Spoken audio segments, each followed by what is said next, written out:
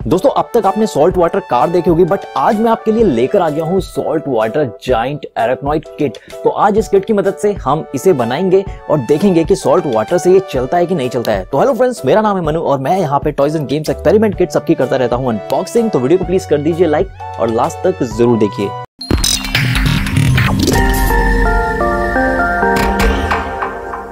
तो दोस्तों फ्रंट से बॉक्स मुझे काफ़ी इंटरेस्टिंग लग रहा है क्योंकि बहुत ही जायंट आर्कनॉइड यहाँ पे बना हुआ है और यहाँ पे एज जो है वो है 10 प्लस अगर प्राइस की मैं बात करूँ तो फोर हंड्रेड तो मार के बट मुझे पाँच सौ में मिल गया था। पीछे बहुत ही इंटरेस्टिंग से पिक्चर्स यहाँ पे दिए गए जिसमें सॉल्ट यहाँ पे डाला जा रहा है और यहाँ पे लिखा भी हुआ है कि पावर्ड बाय सॉल्ट वाटर तो सीधे सीधे से ओपन कर लेते हैं। तो दोस्तों कंटेंट्स यहाँ पे आपके सामने पड़े हुए और मैनुअल जो है ना, इसकी काफ़ी मोटी है, बहुत सारे पन्ने इसमें पंद्रह बीस पन्ने हैं। ये सब मुझे पढ़ने पड़ेंगे और अंदर यहाँ पे कुछ आपको दिख रहे होंगे असेंबलिंग यूनिट है, इसको असेंबल करके ना हमको इसको बनाना है। कुछ मोटर वगैरह भी इसके अंदर मुझे दिख रही है। तो जल्दी से स्टार्ट करते हैं एक्सपेरिमेंट और देखते हैं कैसे बनता है ये सॉल्ट वाटर जाइंट एरोक्नाइड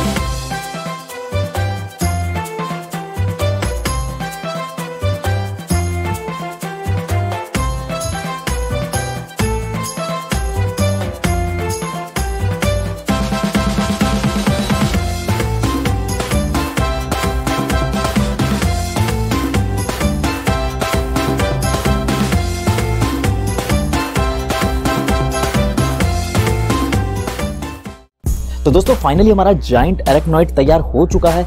अब हमें सिंपली इसमें नमक का पानी डालना है। वो पानी हम कैसे बनाएँगे?